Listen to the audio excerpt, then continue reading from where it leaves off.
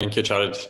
Um, hi, everyone, and welcome to the ones who just joined to our conference, Neurodiversity Shifting Paradigms in Mental Health.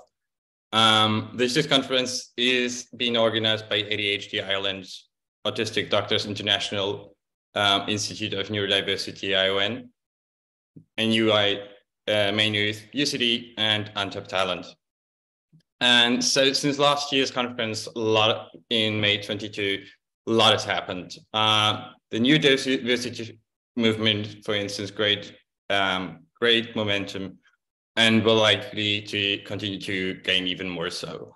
Um, a lot of people sharing their lived experiences, being professionals from all really all ways of life, um, even up to executives and leaders, and all really just having one common goal, which is neuro inclusion and a neuro affirmative approach to every every aspect of social, public, and private life, really.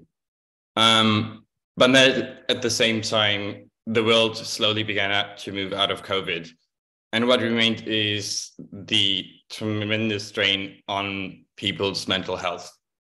And while I feel that efforts have been made to remove stigma around mental health issues, um, there is an opportunity and a need to educate um, and help further. And such an opportunity is today's um, panel about neurodiversity and mental health in the workplace. So my name is Sylvan Ruthenberg. I'm an executive coach and consultant, and I'm neurodivergent myself.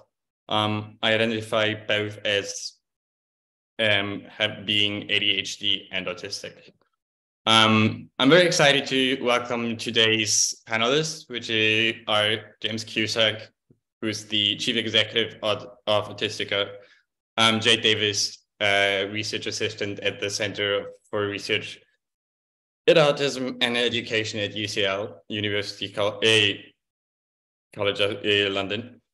Um, Angharad Davis, who just had we some of you may have seen in the um, section, before, who's the clinical operations director for RTN mental health. And then Mary Doherty, who is a consultant anesthetist at Our Lady's Hospital in Navan, and the founder of Autistic Doctors International. Um, so before we dive into the questions, I'd like to have the panelists the opportunity to um, introduce and present themselves. So James, maybe you would like to start? Um, hi everyone, I uh, spoke earlier. I'm James Cusack. I'm the Chief Executive um, of Autistica, which is the UK's leading autism research and campaigning uh, charity, and I'm also autistic uh, myself.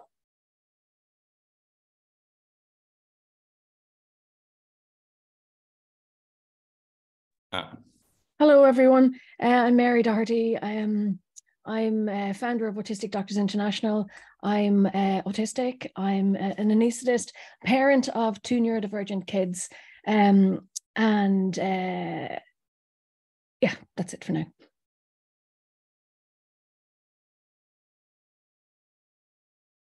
Um, I'll go next. Hi, everybody. I am Jade Davis, and I'm a research assistant at the Centre for Research in Autism and Education, which is based at UCL. And most of the research that I've done over the past kind of four years has sort of been focusing on employment.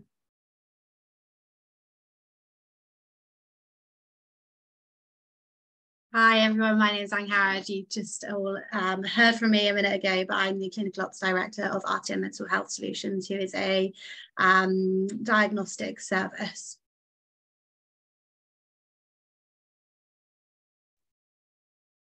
Lovely. Thank you so, so much, everyone.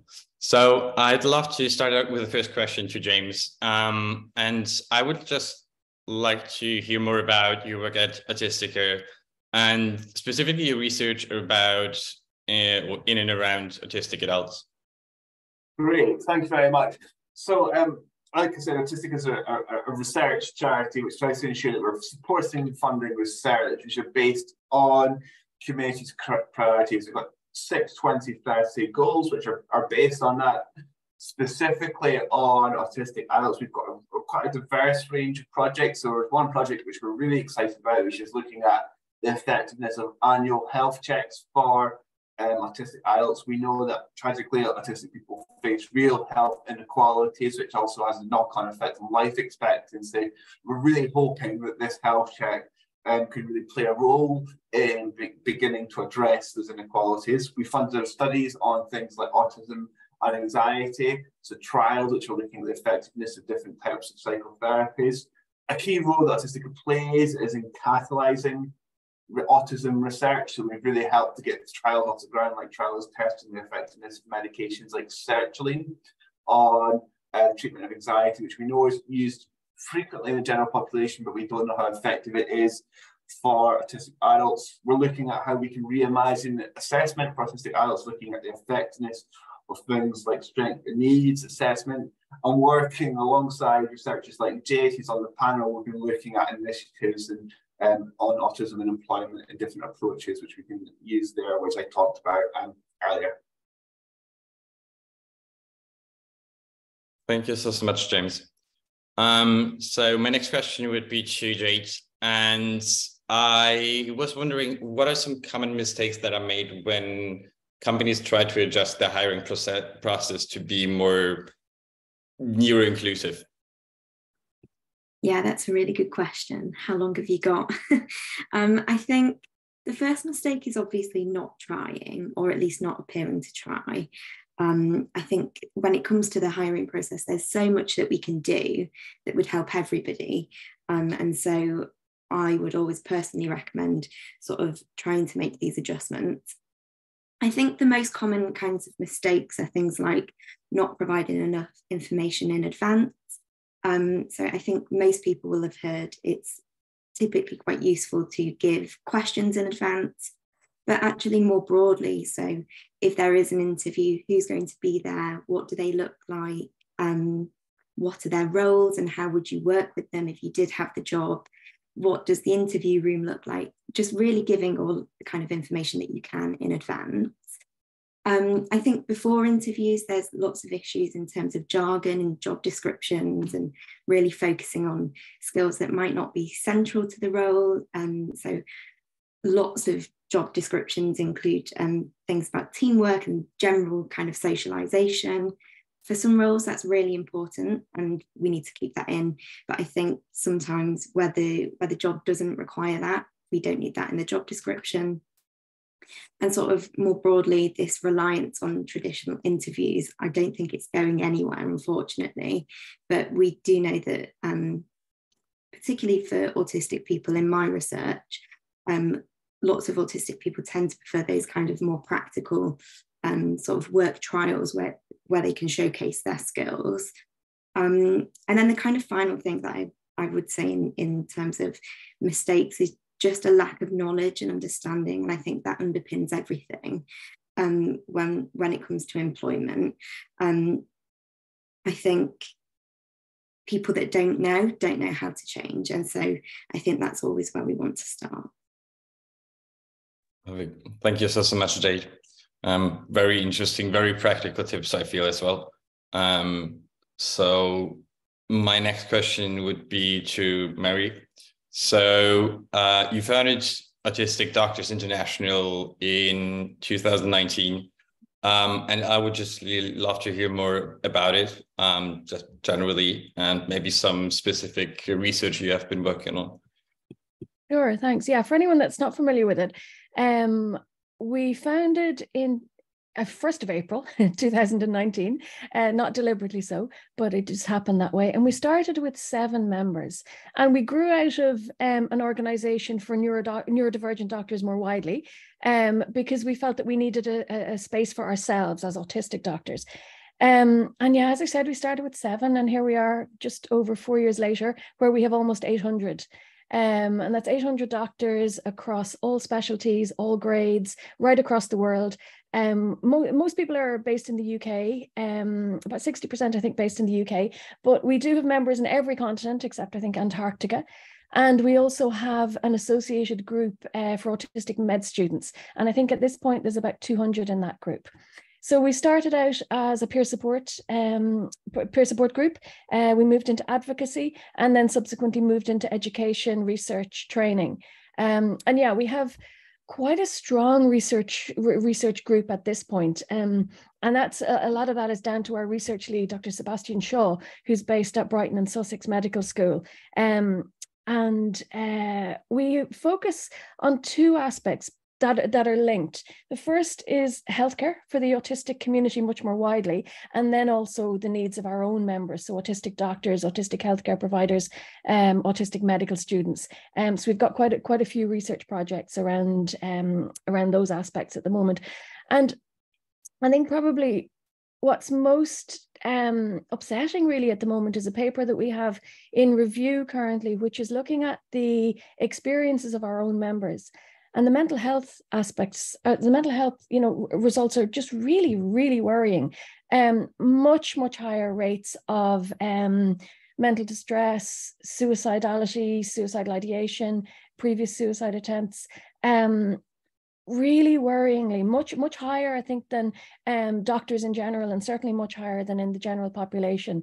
Um, so that's one of the aspects that we're really um, concerned about um, we're concerned about just areas around disclosure particularly. That's a big issue for a lot of our members. Um very you know most of our members do not disclose um which leads to you know masking you know having to expend so much energy in the workplace just just masking our autistic traits and trying to present as you know neurotypical non-autistic. Um it's just so much easier when when it's possible to um you know to just come out at work and just be openly openly autistic openly neurodivergent um that makes life life a lot easier. But there are huge barriers to disclosure because disclosure is not safe for a lot of our members. I mean we've had several members um ejected from training training roles um, literally, you know, removed from training programs, just having disclosed a diagnosis of autism um, on the basis that, you know, this myth that being autistic is incompatible with you know with a professional career in medicine it's absolutely not um, so uh, healthcare for the autistic community is another big area of, of, of interest and research for us. And we've actually just published a paper recently looking at reasonable adjustments uh, for autistic people in healthcare. Um, and that paper is open access. Uh, it's, Autistic Space, a novel framework for meeting the needs of autistic people in healthcare settings.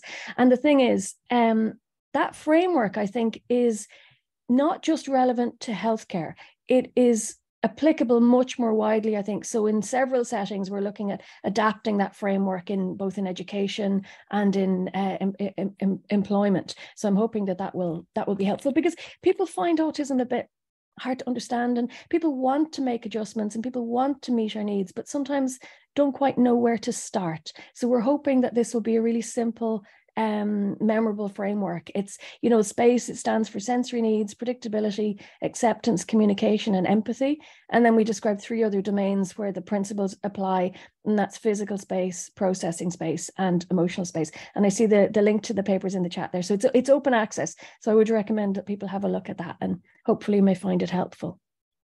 Thank you so, so much for sharing, Mary. Um, I'm amazed about the work you do and shocked about the details you just shared, which are more than worrying, really.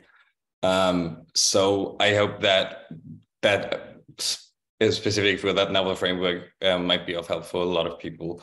Um, maybe not only in healthcare settings, but equally for the workplace settings as well.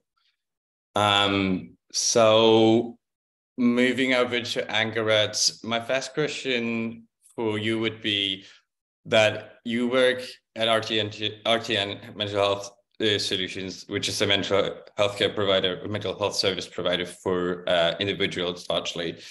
Um, and I was wondering, what are some of the most recent trends that you have identified with regards to um, ASD and ADHD assessment specifically? Yeah, so some interesting things that we started to pull apart as we started to run some kind of um, internal research with regards to um, our comorbidities and what we see when we do our diagnostic assessment. So we send out a series of pre-screening questionnaires Now, these aren't diagnostic tools, but it helps us give a clearer picture as to all the different aspects of an individual's life.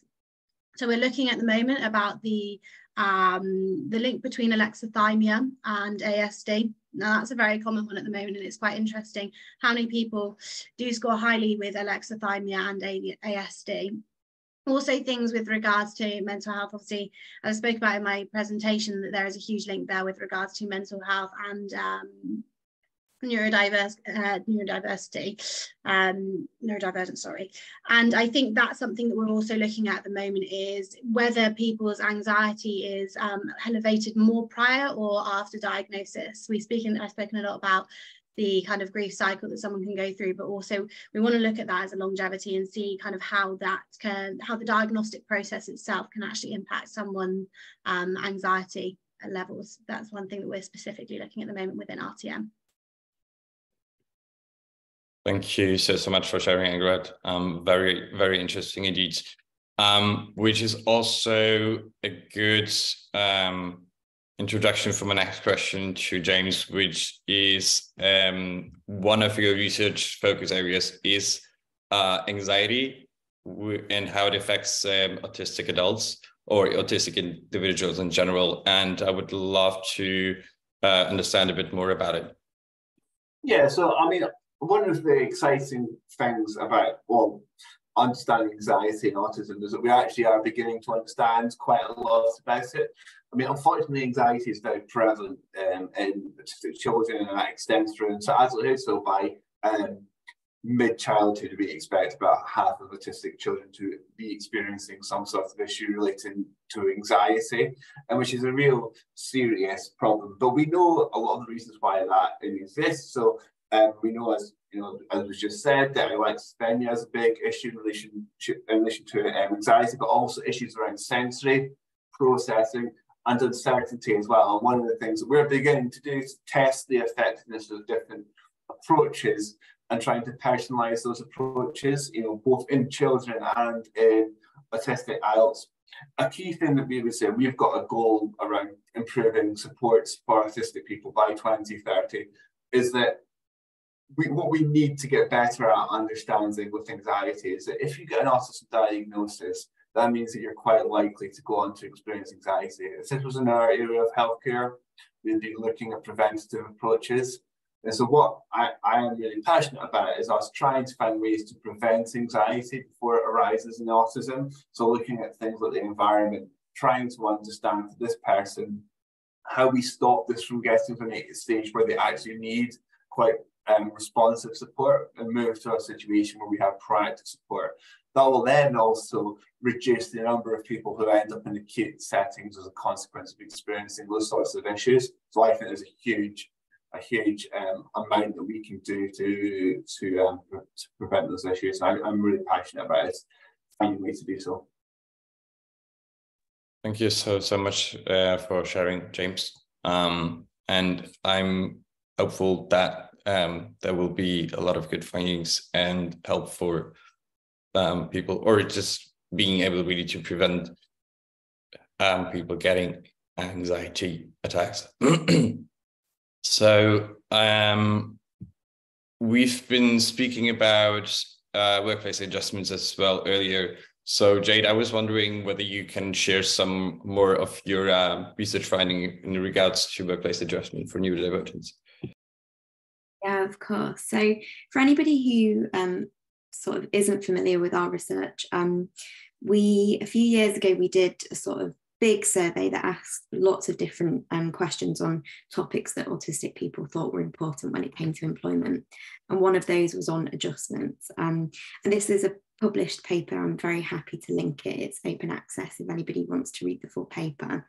But essentially, we surveyed about 200 autistic people and ask them some questions about their experiences of both requesting adjustments but also receiving adjustments. Really interestingly, most of the autistic people that we spoke to um, said that they thought adjustments were important. Um, fewer had actually requested adjustments. I think it was just over half had actually requested them. Um, and I think one of the big reasons for that is that people spoke about this onus being on autistic people um, to do a lot of the legwork when it comes to adjustments. So they had to um, identify a need for an adjustment. They then had to identify the specific adjustment that would be useful for them. And then they had to take all of that information to their employer and make a case for why this was reasonable and why they needed the adjustment and what benefit it would have both for them, but also for the organisation.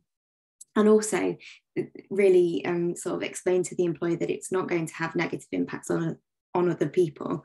So you can imagine that is a huge process for people to undertake. And I think for some people, it's just something that they didn't want to do. We then sort of categorized the different adjustments that people spoke about either wanting or requesting. And so we categorized them into um, sort of changes to the job role, and that was things like changes to working hours, flexible working, those kinds of things. Um, there was changes to the physical environment, so that was things like um, being able to use noise cancelling headphones, and then there was these sort of we called them changes to social and cultural practices, and those were things like changing the way that people communicate um, within the office. Um, in terms of the success of those adjustments, uh, changes to the job role typically were mostly successful. Um, changes to the physical environment and to social and cultural practices were more mixed in terms of their success. And it's hard to say why. We didn't specifically ask why these adjustments weren't successful. Um, it could be that these adjustments were implemented and in the end weren't successful.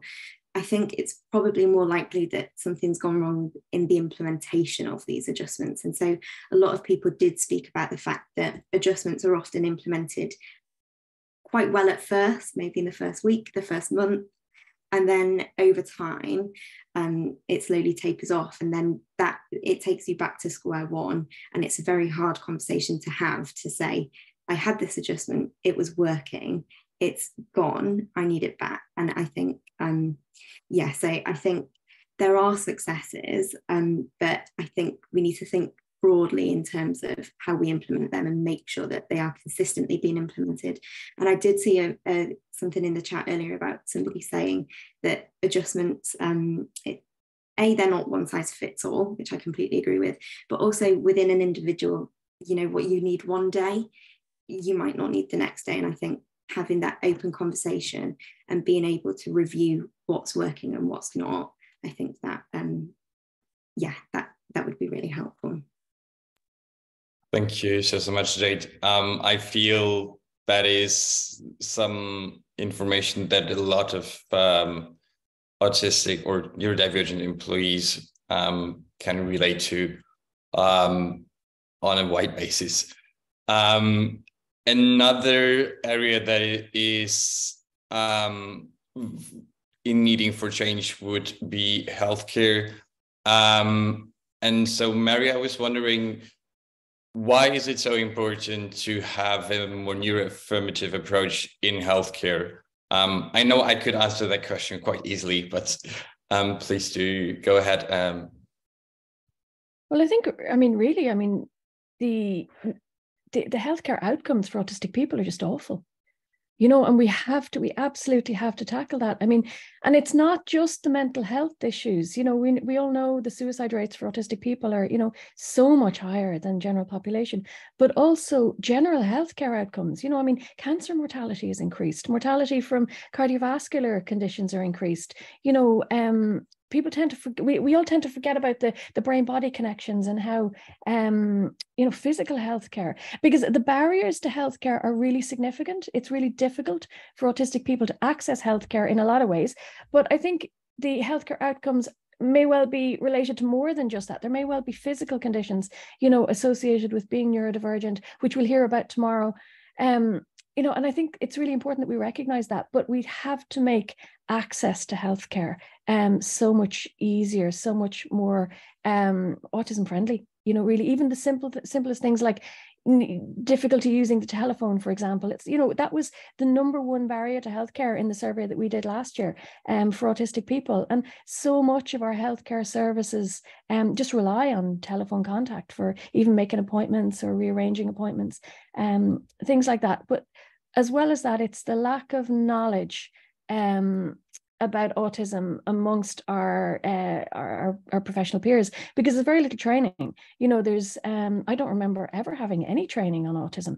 Um, now th- that is changing for sure. You know, and it's a lot it's a lot better now than it was. Um, but we still really need to roll out, um, you know, aut- autism training for all healthcare providers. I think. Thank you so, so much, Mary. Um, I can very strongly relate to it, as I said earlier as well. Um, I have been unfortunate enough to have him go to the ER a few times. Um, and I think most people remember the question of on a level from one to 10, what is your pain? Um, what most people don't know is that is this is called, I think, a visual pain score. So people look at you and compare the number with how you look in terms of how your face looks. Um, and I'm, for instance, a person, I can have a 10 out of 10 pain and I would still smile at you. So that will be very tricky. And even though I say that I'm autistic, it will still not really influence anything. So yeah, yeah I, I can mm, that's a that's that's a really big issue for autistic people you know and doctors and you know healthcare providers just need to understand that that you know because as as healthcare providers we're trained to assess somebody's pain based on how they present and based on the nonverbal signs of pain you know and that isn't that that isn't the same for us as autistic people. So i think it's really important you know that we that you know that we do provide that training so that people can listen to people's words and believe them because there's that sense of epistemic injustice whereby you know the words that we say we're not taken seriously. Um, and commonly we have really bad outcomes because of that you know i mean um, and people avoid then accessing healthcare when needed. So commonly, people turn up at emergency departments um, much later in the natural course of natural, you know, course of an illness um, than non-autistic people might do, and that's evidenced by the fact that autistic people are like um, up to three times more likely to need to be admitted uh, to hospital once they do present, and really worryingly, over twice as likely to die as inpatients following pre- presentation to an emergency department. You know, so it's really important, I think, that um, particularly emergency department staff get this training. And I'm really hoping that we can roll out the autistic space framework um, so that, that provides an easy way for people to, to, to access um, the, the training.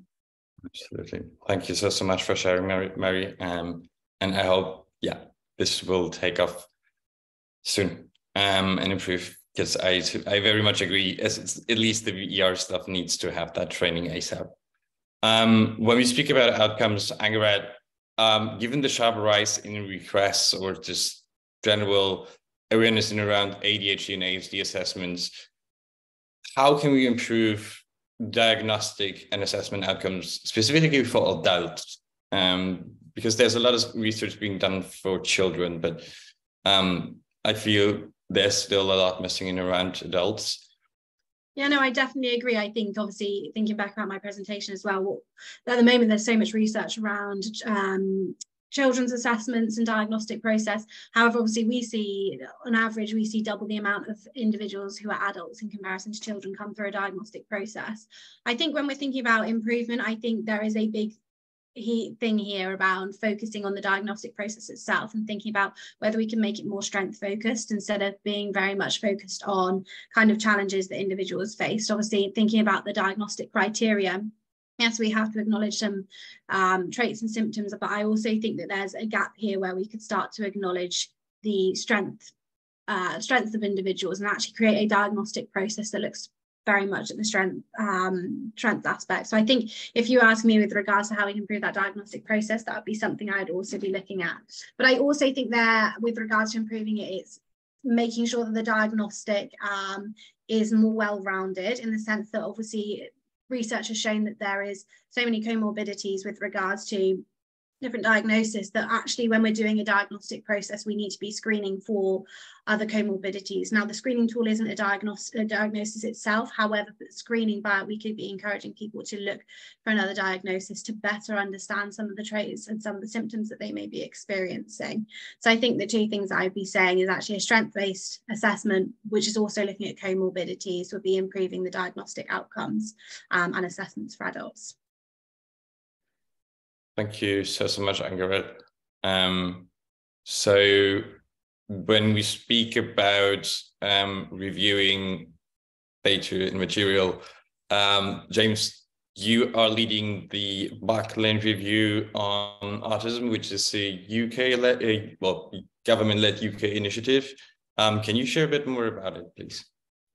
Sure. So I talked about this a, a bit earlier during my talk, so I'll try and keep it quite brief. So this is a review led by Sir Robert Buckland, um, who's a member of Parliament in the, in the United Kingdom.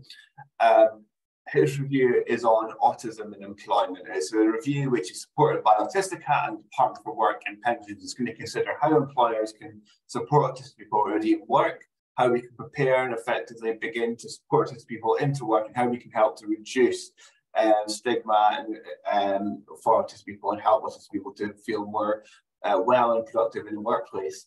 Um, we've been hosting a series of roundtables. There's some really key emerging trends so first of all, I think there's a huge amount of work to improve attitudes and understanding of employers. We're not in the same position that we are with other diversity-based issues, so issues like around um, gender and, and to some extent race, but I think the issues is, is well understood, but it's, uh, there's more issues around intent to take action and action itself. We need, we've got a lot of work to improve um, that awareness and understanding of employers. Um, I think employers need support in terms of being able to uh, implement evidence-based changes, and that's why Autistica is working on creating a neurodiversity um, index, which can help us to ensure that um, employers can make evidence-based, sustainable, practical changes.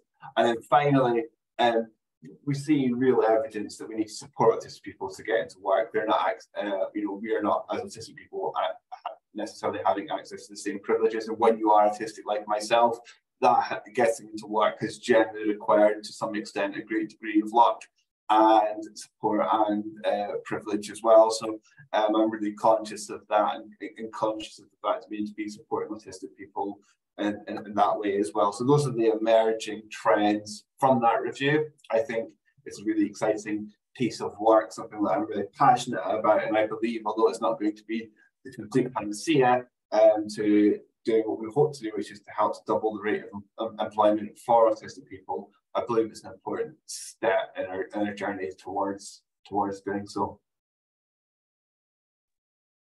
Thank you so so much, James. I'm very interesting um, and curious what more findings you'll uh, yeah, what more findings there'll be. Um, and we've already spoken a lot about workplace adjustments and they were mostly concerning hiring processes and autistic adults being in work eventually. Um, so Jade, I was wondering how does this how do the workplace adjustments for one, but then also uh, more interestingly, disclosure affect career, progression of uh, individuals who are neurodivergent? Yeah, and yeah, so I'm going to sort of caveat what I'm about to say with the fact that this is a very, very under researched area.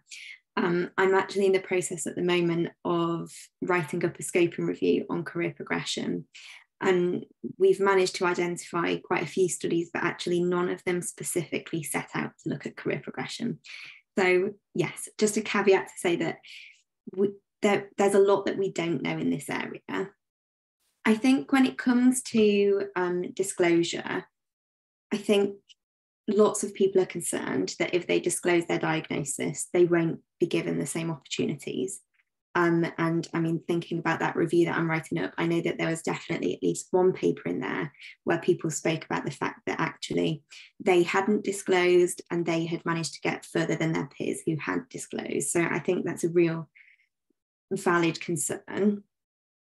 I think more broadly, I think recruitment is very likely to play a big role in this. I think the issues that people have when they're entering the workforce continue throughout employment. And if you're going through the route of trying to get promotions and so on, often they have quite rigorous interview um, processes, often multiple stages, and that can be quite difficult. And so the same issues that we continuously talk about when it comes to um, disadvantaging autistic people in entering the workforce. I think that that's also a concern as you move through employment.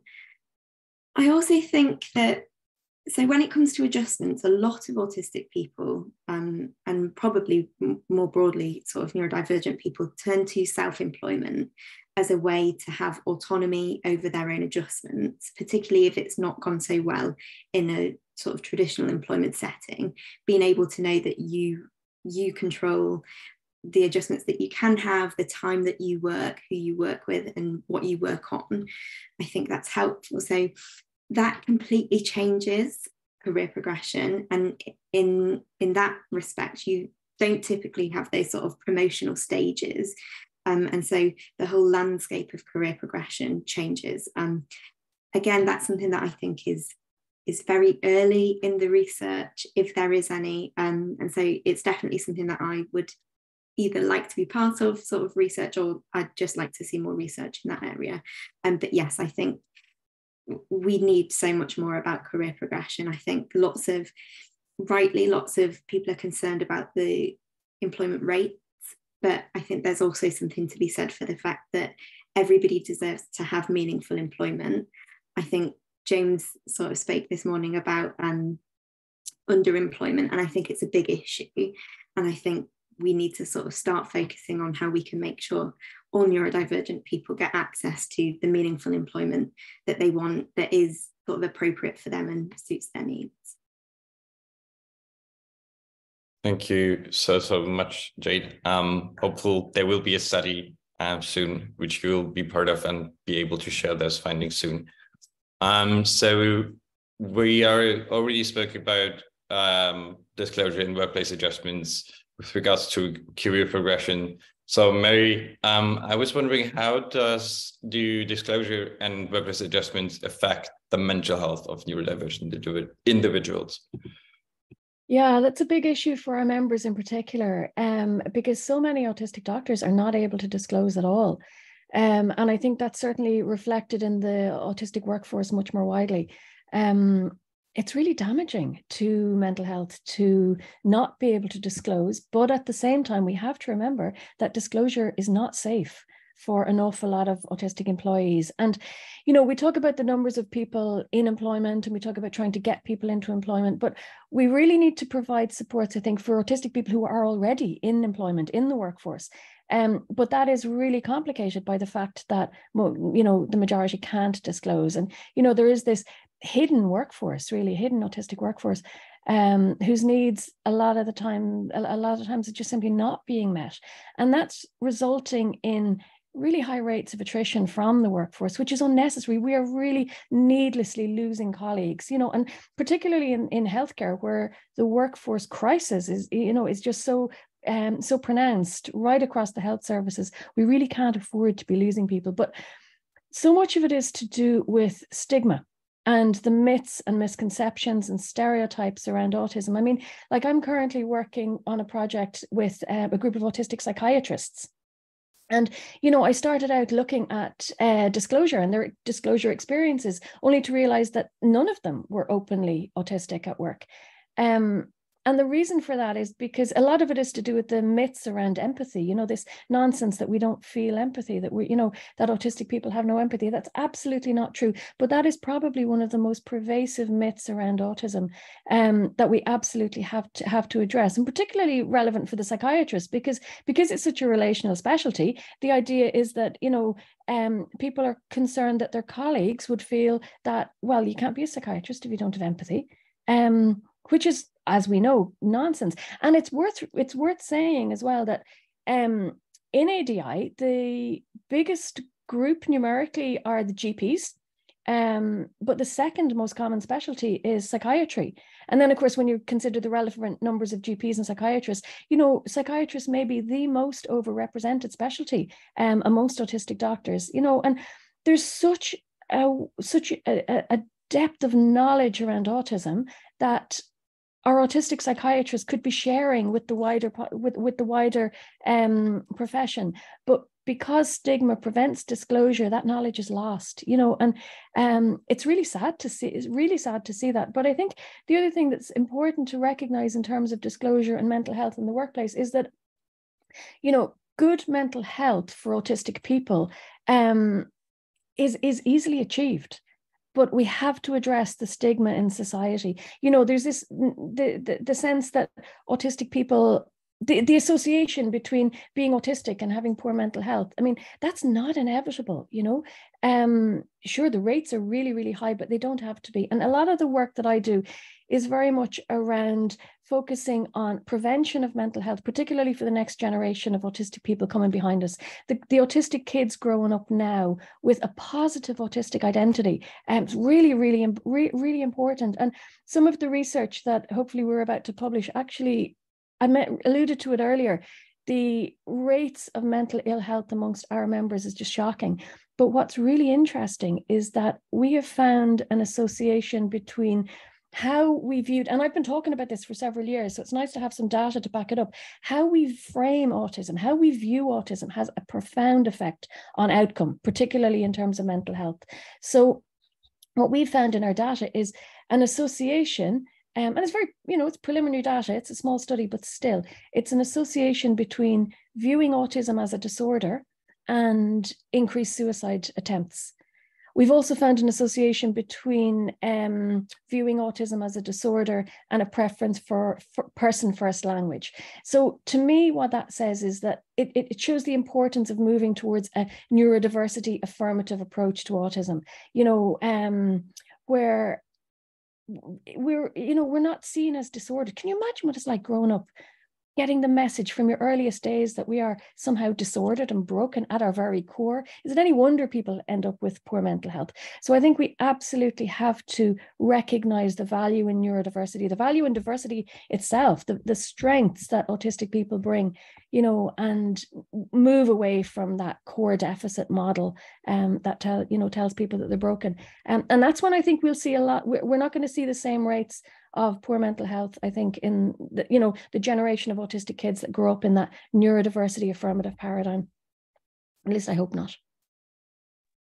Thank you so, so much for sharing um, your findings. And I hope uh, you'll be right um, that, that it will change in the future.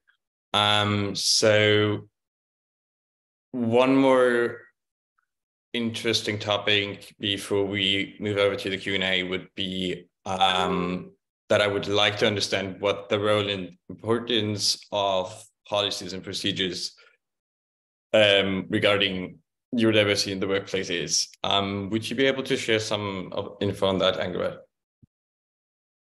Hi, no, definitely. Sorry, I don't know why I turned my camera off and then it shot back off then. I think with regards to the role of policy and procedure, there's a, a huge role there for kind of reducing um, stigma. I made some notes. I'm just going to get them up on my computer so I had a little bit look at it earlier. But I think whilst kind of the awareness is growing, I think only 10% of employers roughly know um, are actually known to address neurodiversity in their policy and procedures. So I think there's an importance here with actually introducing a policy and policy with regards to relating to a neurodiversity like policy then. I think there's advantages of putting it in. It's kind of a well understood framework for management to use. Um, I think there's a huge role for kind of creating a culture free from discrimination by having policies which outline kind of procedure with um, neurodivergent employees um, and in kind of creating a supportive culture. Sorry, I'm also kind of looking at some of the questions that were coming up and I wanted to go back to the chat because I was noticing quite a few things that were coming up with regards to adjustments. And I think this is where if we could implement um, policies which actually explored reasonable adjustments, because I noticed a lot of people saying that it's sometimes quite challenging to actually address what accommodations could I be looking for, what could I be asking for when it comes to working. And I think that is the biggest challenge that a lot of people face after a diagnosis, kind of going, well, what would work be able to offer me? What, what would they be able to do to support me? So actually by creating policies there is a huge area there for us to actually be making sure that we're looking at reasonable adjustments and looking at everyone as an individual and making sure that we can make those specific recommendations and um, adjustments to make the work-life balance as easy as possible and making sure that we're getting the most out of people in an environment where they're most comfortable. Um, so I think that's where kind of policy is. It's also a place where we can like implement non-stigmatized language um, and really kind of again increase awareness with regards to neurodivergence. Thank you so, so, much, Angharad, for sharing that. Um, so I would like to move over to the Q&A. Um, so some of you have asked questions. So the first question is from Ruth, and I think that's most likely for Mary. Um, any tips or suggestions to increase awareness slash acceptance of neurodiversity for those working in CAMHS settings, uh, since it's a very traditional uh, medical model? I'm sorry, I have to be honest and say I zoned out a little bit at the beginning of that question. Would you mind? It's no problem at all. So any tips or suggestions to increase awareness slash acceptance of neurodiversity for those working in the in CAMHS settings? Okay, so that's child and adolescent mental health services that um, or community mental health. Uh, I, I suppose the similar answer for both. I think the most important thing really is to recognize that lots of your colleagues are autistic or neurodivergent. Um, and once we get to a point where that's you know where it's where it's totally fine to be you know to be openly autistic um in a you know CAMHS or community mental health team um and have our expertise valued um, I think that's when we'll really be at a point where, um, you know, we are genuinely tackling the stigma. And the thing is, what the autistic psychiatrist, like it, the project that I'm doing currently, it's a doctoral project, um, and I'm looking at the experiences and insights of a group of eight autistic psychiatrists, and half of them work in um, in child and adolescent mental health. And what they're telling me is that um, the the the insight that they have and the rapport that they can develop with their with, with their their patients very very quickly um, is really different to their non-autistic um, neurotypical neurotypical colleagues and what a lot of them tell me is that even though they're not openly um, disclosed at work, they commonly find that neuro- neurodivergent kids who come into the service just get referred to them because it's it's it's recognized by their colleagues that they're able to develop a rapport quickly, you know, get good results with these kids. Um, and yet they have to do it from a place where they're either presenting as maybe parents of neurodivergent or autistic kids you know or just not not not disclosing you know at all and i just think that's such a shame because we're losing um, we're losing all this expertise uh, that could really help. So I think I think recognizing that lots of people, and I, I see the same thing in autism research, where a lot of people in the area of autism are drawn to this field because of a personal, you know, a personal connection, whether that is, is autistic, being autistic or neurodivergent themselves, or they have a family interest or, you know, whatever. But lots of people um, are in this sort of autism world because they're autistic. Not, not everybody recognizes it. So I think the most important thing is that everybody working in autism services or neurodiver- neurodivergent services should consider their own positionality carefully um, and know for sure whether or not they're autistic. Because the thing is, if you are autistic as a psychiatrist and you don't realize that you're autistic, then people will come to you and will describe experiences and traits and features of, uh, of life that you will discount as not being autistic because you share those experiences um, and that's a real shame and the autistic psychiatrists tell me that they they just have this sense of guilt really over the patients that they've all missed before they realized that they were autistic. So I think considering your own positionality is very important. Thank you so, so much, Mary. Um, so the next question I'll be asking openly, um, which is from Irene. Um, and she is wondering whether there's a real major co-occurrence between the LGBTQ plus um, and neurodiversity community, meaning that from her experience, 95% of the people that are from the LGBTQ plus community are also neurodivergent.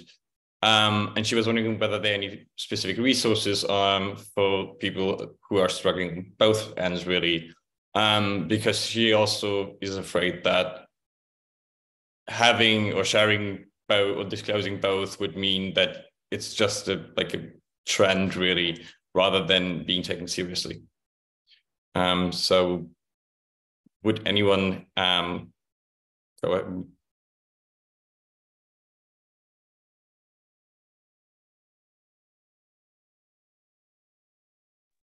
This isn't a specific area of focus focus for us, but I think there's pretty good research which shows that um, maybe the numbers aren't quite as high as, as, as has been reported in, in the question, but there's an increased likelihood of um, autistic people um, identifying as being uh, part of the, the LGBTQ community.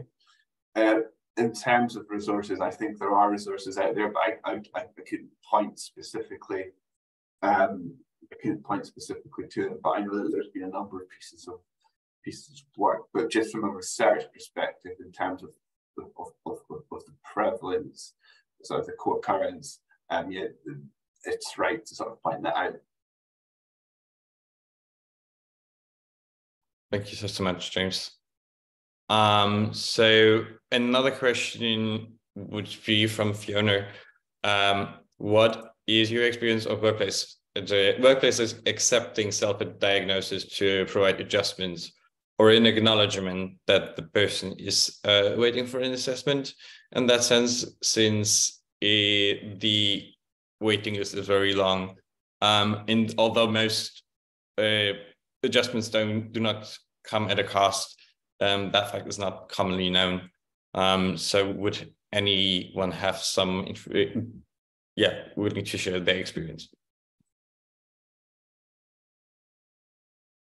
I'm happy to sort of answer this. Um, in terms of workplaces accepting self-diagnosis, and if anybody sort of has better information than me, then please do correct me if I'm wrong. But my understanding is that you shouldn't have to disclose a diagnosis or provide a diagnosis to access reasonable adjustments, which is the legal kind of um, adjustments. I think there's a lot of confusion in terms of what's considered reasonable and the sort of legality around that, I think, can be quite confusing.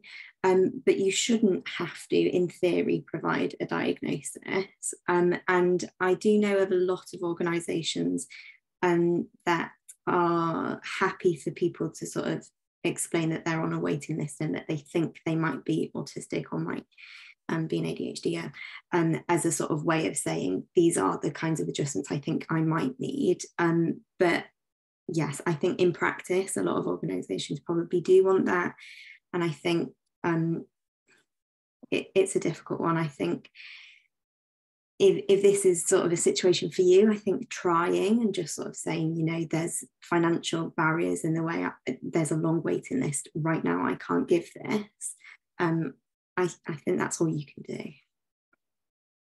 Um, I just wanted to add to this, if that's okay. I completely agree. So Joe's right with that. There's no kind of legality around actually sharing the diagnosis. I mean, we definitely have it when clients come through a diagnostic process with us in that in between phase of getting the diagnosis and wanting to tell work they're looking for reasonable adjustments to be made. And on occasions, what we do is we tend to provide a letter to the company just to say, actually, yeah, we can confirm they're going through a diagnostic process. The diagnosis isn't necessarily confirmed yet, but actually reasonable adjustments may may still be useful. What I'd also say though is we've actually had it in times where people have come to us for a diagnosis and they've not received the diagnosis. However, there is still the need there for reasonable adjustments. So regardless of whether there is actually a diagnosis, there's no need, there's no reason why people couldn't still be asking for reasonable adjustments to be made when um, kind of thinking about their working environment as I mentioned earlier, I'm definitely someone who prefers working remotely from home. I get, I definitely achieve a lot more in day to day, and that's just because I get so easily distracted by things, and that's just an adjustment that my work uh, employ, employer have been willing to make for me. Now, this is very similar with regards to school as well. I know obviously we're thinking about work, but just for people who do have, um, in like with children who are going through school, there is still a, a potential there that you can still be asking for adjustments to be made. Yes, it's a little bit more complicated with regards to when you need to provide the diagnosis, but you can still be asking for those reasonable adjustments to be made, um, regardless if they're if you have received the diagnosis or not. Thank you so, so much, Angela. Um, and that the next question also kind of leans into the whole workplace adjustments. Um, so Gregory uh, would love to know if anyone has any insights um, about autistic or neurodivergent individuals ha- not having that much insight in their own strength uh, and challenges for since their diagnosis. So it even and that is the same experience, my personal experience. Uh, it is a journey, um, and it's mostly discovered by doing. So he's wondering if anyone has insights on employers who have given that support during that journey, really. Yeah, I'm happy to talk to, talk to this um, to some extent. So one of the things that we've definitely heard through conducting Buckland reviews is a real challenge with the onus to put on the autistic or neurodivergent person to disclose um, their own reasonable adjustments. And, you know, although many of us here are very knowledgeable and fluent in terms of the sorts of types of reasonable adjustments that you can make, a number of people just aren't really. And there's a huge onus put on the person to try and understand and articulate what they are. But like all human beings, neurodivergent or not, actually having insight into the sort of support that you need is actually extremely difficult. And um, I think having a more structured process is something that we definitely need to get better at moving towards.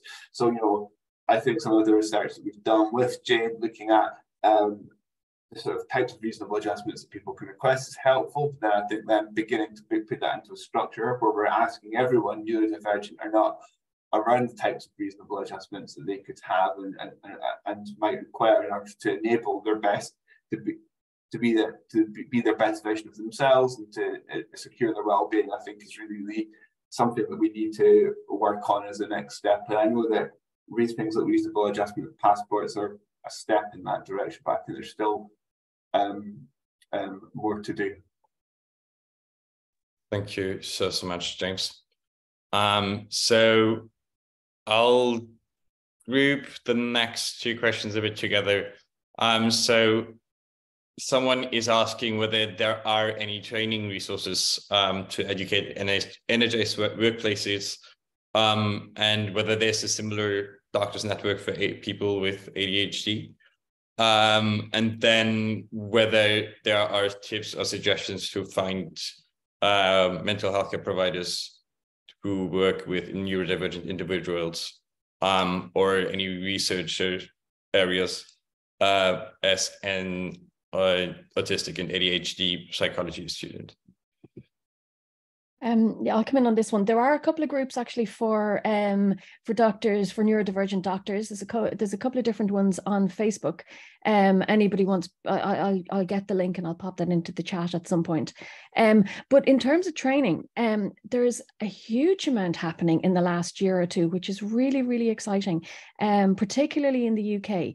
Um, so I'm involved with a couple of different things. Um, in particular, um, the national, uh, the Royal College of Psychiatrists I think is probably the most exciting program I think at the moment that I'm really that I'm involved in. It's just super. The College of Psychiatrists have developed a national autism training program for their own members for psychiatrists, and it's it's delivered at two levels as a foundation level and an enhanced level um, and i've been involved with both where i've presented the autistic space framework and i think it's so exciting that it's happening um, with the psychiatrist because that will then filter out into the community mental health services, into CAMHS, into uh, you know into uh, mental health support much more widely. But I think what's also exciting is that a lot of the other Royal Colleges are getting interested and getting involved. And a lot of the work that we've done has been around promoting um, awareness of uh, neurodivergent and autistic colleagues, but that is also allowing um, increased recognition of the needs of autistic people using those services. Um, so I think that's why that that's very interesting. Um, so the yeah, I've I've had I've done training for lots of different colleges, lots of different trusts, lots of different um, bodies, you know, medical bodies in the UK, and we're starting some work here in Ireland uh, on on the same on the same path, which I think is really exciting as well. So yeah there is lots happening. It will take a while before it all filters down to you know every gp surgery department um, but i think the changes are really positive thank you so so so much mary for sharing um we um encouraging as well um so we would then close off this session um and have everyone enjoy their lunch break um, thank you so, so much for joining this panel for, uh, of today. Um, thank you so, so much to all the panelists. So thank you much, Angharad, James. um, Rory and Jade for being here today um, and sharing your experiences, your insights. Um, so the lunch breaks is going to start now and then you uh, it will start back again at 1.30 p.m. So thanks so much, everyone, um, for joining today um, and continue to enjoy the rest of the sessions.